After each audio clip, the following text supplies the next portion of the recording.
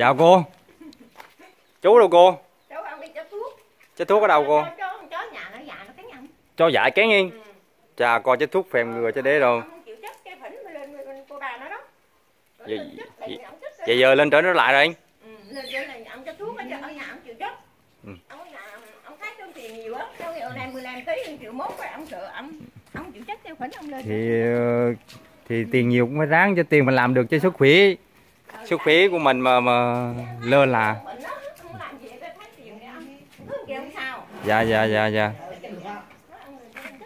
Dạ dạ dạ. Dạ chú đi hồi nào? Bốn năm bữa rồi. anh.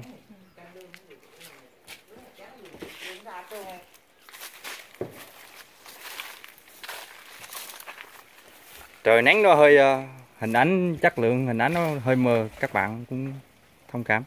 Không, chút là hết rồi, là dùng đó coi. Anh biết tao coi coi mà. Chưa cô?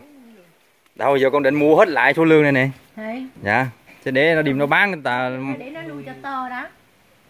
để nó điềm nó bán mấy người kia thấy nó nhỏ rồi Nó nó tính nó không có hợp lý nên Sợ vậy? thì nó nuôi cho to nó hay bán cho vừa rỉ quá.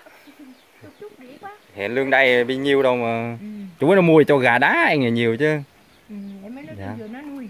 Nó Dạ. nuôi cho vậy cho mình đi bán là giá nó thấp chứ mà người ta mua đi người ta bán lại giá nó lại cao hơn mình Ừ.